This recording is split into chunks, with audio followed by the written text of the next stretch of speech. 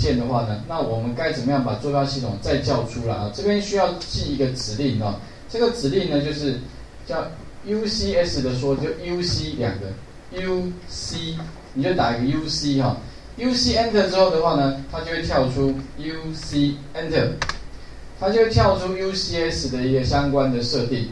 那假如说呢哈，你也许不小心把这个 UCS 图示把它关闭的话呢？那这个打开这边把它打勾按确定，那 UCS 就又出来了哈。这个是第一个，就是说如果假设相关的设定，那 UC Enter 里面还有其他哈，其他相关设定哈，你们再看一下。一般会更改的就是，假设你要把 UCS 图示关闭的话，就直接 UC Enter 哈就可以把打开那个地方打勾关。那如果要把它再开起来的话，你直接打 UC Enter，那这边把它打开按确定就好了。好，这第一个。第二个是说呢，如果上面这个 UCS 哈，我希望调整它的第一个是这个字的大小可不可以调整？哦，颜色可不可以调整？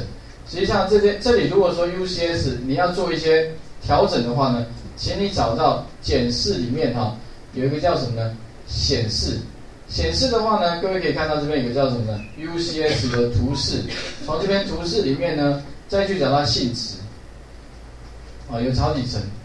就是其实都是在检视啊，然后画面上看到就是 UCS 图示性质，那从这边的话呢，请你把它点下去。接下来各位可以看到图这个图示的大小没有？大小的部分呢，可不可以调呢？可以，把它稍微放大好了。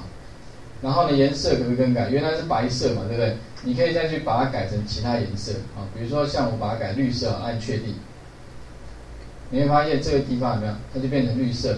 但是在这里特别注意哦，我的。这个视觉的形式哈，一定要在二 D 线架构，一定是要在二 D 线架构哈，才会有作用哦。所以这边的话特别注意啊。这里的话，我想你们先试试看啊。刚刚的指令是 UC Enter 哈。